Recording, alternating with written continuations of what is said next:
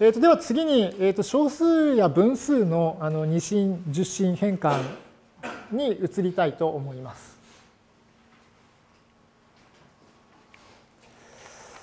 でまずはその二進の循環小数をその、まあ、十進数の有理数で表現するという話をしたいと思うんですが、えその前に一応あの十進の循環小数をその有理数十進の有理数で表現するという、え計算ですね。これはもしかするとその高校の数学などで出てきたことがあるかもしれないのでそれをちょっと復習しておきたいと思いますがこの手順を覚えてるもしくは知ってるっていう人はどのぐらいいますか？はい、わかりました。はい、ありがとうございます。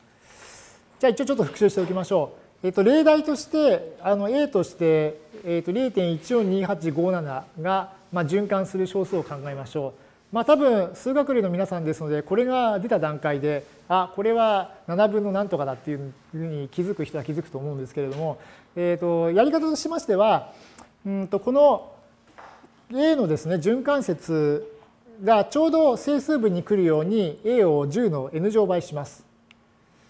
この場合ですと循環節の長さが6桁ですので、えー、と上の1行目にありますように a を10の6乗倍するんですね。そうすると,、えー、と循環節の142857 1個 ,1 個分があの整数分に現れます。でそれとあと2行目のもともとの a を比べるわけですね。でここで気づくのはあのこうして見てみるとこの10の 6, 乗 a と a のでその小数点以下の部分が全てあの同じ値を取っているとどの桁も同じ値を取っていることが分かりますので、えー、とこの1行目から2行目をこう引くわけですね。そうすると,、えー、と右辺はあ左辺は10の6乗マイナス 1×a ということになってで右辺はあの小数が全部消えきれいに消えますので、えー、と14万2857という形になります。でこれであとその、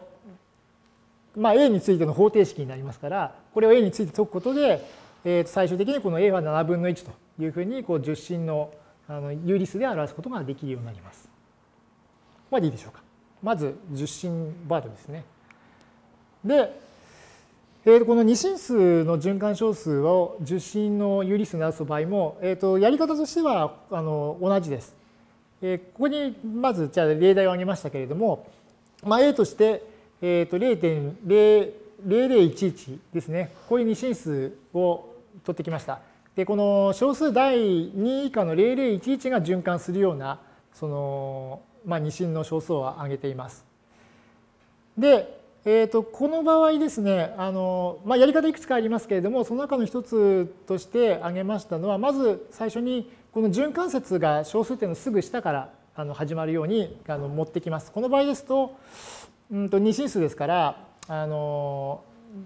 この a を2倍することで、まあ、循環節が小数点のすぐ下に来ます。で今度はこの b という値ですねこの b という小数を、まあ、2の n 乗倍してこの循環節がちょうど1個整数部に現れるようにします。そうしますとこの場合はあの循環節が4桁ありますから b を2の、えー、と4乗すればですね、えーとまあ、上位2桁が00だったので、まあ、あのこちらにありますように、えー、と整数部は11すなわち十進数で3ということなんですけれども、まあ、こういう形のあの展開になりまして。で b の2の4乗倍から、まあ、b を引くと。両辺引くことで、えー、右辺はあ左辺は、えーと、と十進数でいうとうんと,、えー、と2の4乗マイナス、えー、1ですからあそうかえっ、ー、と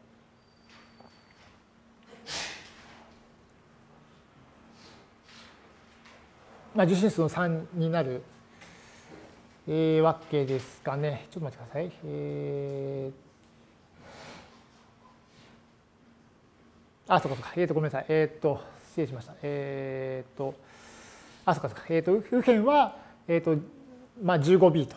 それから、えっ、と、左辺は、えこの二進数の11からまあ0を引いたものが残りますから、あ、ごめんなさい。右辺ですね。右辺は3が残るということで、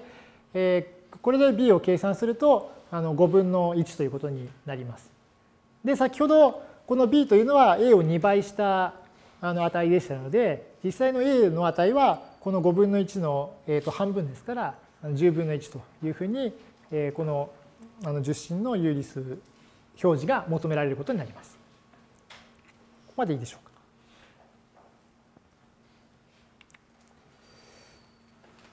じゃあ、えっと、次にですね、その十進のうんと、まあ、表記を二進表記に直すんですが、これは整数以外の場合の話を扱いたいと思います。で、整数の場合は先ほどあのやりましたが、もしこの実数 x が与えられたときに、まあ、これあの x を十進表記としましょう。で、このときに、えーと、この x をですね、小数部分と整数部分に分けて表します。えー、整数部分はこのうんとフロアという記号を使って、まあ、この x を超えない最大の整数ですね。それから小数部分をこの中括弧で x の中括弧でくったような形で表します。で、えー、そうしますと、うんとでこの時にそのこの x の整数部分に対応する、えー、と二進表記をまあ z と置いてそれから x の小数部分に対応する二進数を p と置きますと、うんとこのちょうどこの x の十進数の表記というのは、まあ、あの二進数ですと z 点 p という形であの表せますので、で、ここからは、この x のその小数点以下の数をですね、えー、とこの二進数に直すと。でこの p っていう表現を求めることを考えます。で、えー、とその例題としてですねあのこういう形であの例題を挙げましたけれども例えばじゃあ今ですねあの10分の1という有理数があったときに、まあ、この10分の1の二進表記を計算してみましょうということなんですがとやり方としましてはこの与えられた10分の1をまず2倍しています。2倍するとあの5分の1になってですね。で、えー、この時はとりあえずここにはあのこの結果が、えー、と1を上回らない場合には、えー、ここをプラス0というふうに書いておきます。で、えー、さらにこの5分の1を2倍して、えー、5分の2というのが出ましてでこの結果が1を上回らない1以上になってない場合にはここを0というふうに書いておきます。で、もう一回2倍してで5分の4が出てきましたが、うんと5分の4もやっぱり1未満ですので、ここに0、プラス0というふうに書いておきます。で、次の計算で5分の4を2倍して初めてこの値があの1を上回1以上になるんですね。で、そこでこの時は、あのこれ、この5分の8という数を1プラス残りの数というふうに形であの表しておきます。で、次のステップでは、えー、とこの5分の3ですね、ここにあるその出てきたこの5分の3を2倍します。そうすると今度はあの5分の6になって、また1を1以上になりますから、これを1とそれから5分の1と和というふうにして表します。で、次のステップは、この5分の1を2倍して5分の2にすると。で、えー、とこの時は、えー、と1未満ですので、ここにプラス0と書いて、で、えー、さらに5分の2を2倍して5分の4にするという形でこうあの続けていきますと、まあ、この場合はあのどんどんどんどんその計算が終わらずにこう続けていくんですね。で今までの流れをもう一回振り返りますととはまず与えられた数を順にこう2倍するというのがまず1番目のステップです。で次に、えー、と2倍した数がここにありますようにもし1を超えたらえその1を引いた上で1を引いた上このですね1を引いたものとそれから1の和というふうに書き表します。で、えこれを繰り返してその右辺の値が右辺の値というのはこここですねこれを何とかを2倍して1に等しくなるかもしくはこのここの0とか1のこの数の出方を見てですねあのこれが循環するまで計算を続けます。で、えー、それでですね、であの各桁の数字を上から順に小数点の下に並べていくと実はこれがこの場合ですとあの0001 1001っていうふうに並べていくとこれが実は、えー、と10進数の10分の1をあの2進数で小数点以下の数で展開していった場合のあの値になります。でそうするとこれ見ていきますとどっかでこう数の出方が循環するんですね。えっ、ー、と多分ここですかねこのここから1100ってきてここであの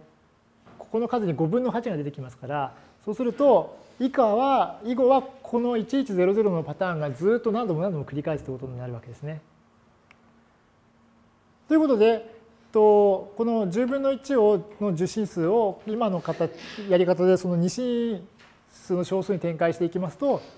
えー、ここの00110011っていうのが続きますので最終的にはこういった形で0.00011という形のあの二進の循環小数で表すことになります。ここまででしょうか。で、実はあのこの計算もですね、先ほどのホーナー法のようなアイデアが入っています。えー、先とこの計算どういうふうな意味を持ったかっていうと、えー、と先ほどですね、10分の1っていうのが与えられたときに、えー、これを、あのまあ、2倍してくださいというふうに言いました。でこれは実は、うんと、えー、とこのような形で、あの2分の1かけるこういった形を展開をしたことになるんですね。で今度は、えーと、10分の1を2倍して5分の1をまた2倍したっていうのはどういうことかっていうとこういう形の展開を求めたことになっています。で以下あの5分の2を2倍する5分の4を2倍するで5分の4を2倍すると,、えーと、5分の8になりましたからこれをあの1プラス5分の3という形形で表したっていうのは実はこういう展開に対応しています。でえそして見ていきますとあの先ほどですねそのコーナー法のところであの扱いましたようにこの一番下の行の式のような形でこう10分の1というあの重心数を展開してきたことになります。でそこで現れ現れているこのスライドで黄色で塗ったですねこの0とか1の部分が実はこの10分の1の二進数による小数展開に対応しているということが言えます。ここまででしょうか。